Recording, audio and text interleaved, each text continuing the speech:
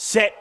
Racing now, gets laid early from the inside away well. Harmony Fire out fast. She will lead at the first corner from Overflow Jill. Good odds Cobber from box eight, second the rail going through the catching pen.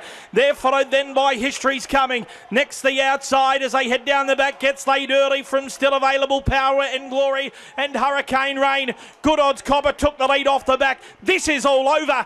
Good odds Cobber's bounded right away from Harmony Fire. Good odds Cobber, a special mega star win. Beats Harmony Fire. Third overflow. Jill and fourth gets laid early. There followed History's coming next. Power and Glory still available and Hurricane Rain.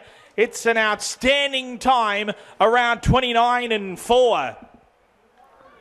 Number 8, Good Odds Cobber for Frankie Hurst. Wins this race again. Of course, he won it with Good Odds Harada all those years ago. And he takes out the Group 1 Dapto Megastar with good odds Cobber.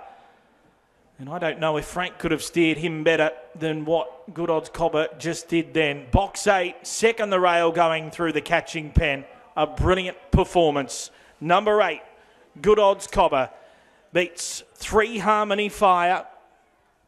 Brave run from her. She's run the race of her life. Third to 7 Overflow Jill. And fourth in number one gets laid early. Eight, three, seven, and one are the interim numbers. Eight, three, seven, and one are the interim numbers here on race number seven. Eight, three, seven, and one. The margins, it was a romp at the end. Four and three quarters. Four and three quarters by three quarters. Four and three quarters by three quarters. And the time, 29.44. Eight, three, seven, and one. Four and three quarters by three quarters. 29.44 the time here on race number seven.